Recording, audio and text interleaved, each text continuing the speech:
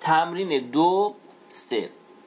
همونطور که در شکل دو سه کتاب ملاحظه می‌کنین من این شکل رو با استفاده از فرمان line و استفاده از خاصیت polar tracking تحت زاویه 45 درجه رسم می‌کنم ابتدا روی آیکون polar tracking کلیک چپ می‌کنم روی مثلث مشکی رنگ کلیک چپ می‌کنم و اینجا زاویه رو در مضارب 45 درجه مقید می‌کنم.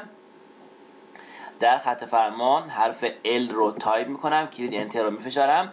این نقطه این نقطه رو به عنوان نقطه شروع می‌گیرم. specify first point این نقطه رو می‌گیرم به عنوان first point خودم. خب گفته specify next point نقطه بعدی ده واحد تحت زاویه صفر درجه است. در خط فرمان تایپ می‌کنم. ده. کلید Enter خب نقطه بعدی به اندازه 5 ممیز 66 تحت زاویه 45 درجه است. در خط فرمان تایپ می‌کنم. 5 و 66 دیگه من فقط دارم طول ضلع رو در خط فرمان تایپ می‌کنم. چون زاویه در واقع ببینید خودش داره مقید میشه تحت اون vector ی که اونجا ملاحظه می‌کنید. کلید Enter رو تایپ می‌کنم. حالا با حرکت دادن مکان نما در راستای زاویه 135 درجه. اینجا دیگه من چون از روش polar tracking دارم استفاده می‌کنم برای رسم احتیاجی ندارم که زاویه رو در خط فرمان تایپ کنم. فقط طول ضلع رو در خط فرمان تایپ می‌کنم باز 5 و 66 اگر ملاحظه کنیم کلید Enter میفشارم.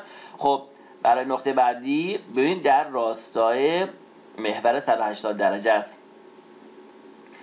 عدد دو رو در خط فرمان تایپ می‌کنم کلید Enter باز میرم به سمت بالا راستای محور 90 درجه. طولش عدد 3 3 رو تایپ می‌کنم کلید Enter. باز اگه به سمت چپ حرکت کنم راستای 180 درجه 6 رو تایپ می‌کنم کلید Enter. اگر به سمت پایین بیام در واقع میشه محور 270 درجه 3 رو تایپ می‌کنم کلید Enter. به سمت چپ در واقع میشه محور 180 درجه. فقط دو ببینید دقت کنید در خط فرمان من دو رو دارم تایپ می‌کنم کلید Enter.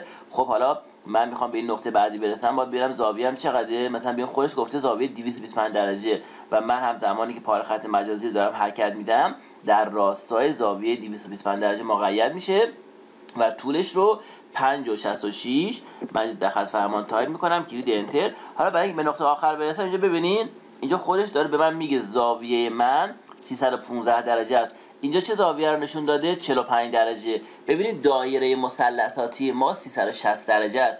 اگر من بیام 360 درجه رو منهای 45 درجه کنم به این عدد 315 درجه می‌رسم. پس در خط فرمان تایپ می‌کنم. فقط 5 و 66 و کلید انتر رو میفشارم. با فشردن یه بار دیگه کلید انتر از فرمان خارج میشم.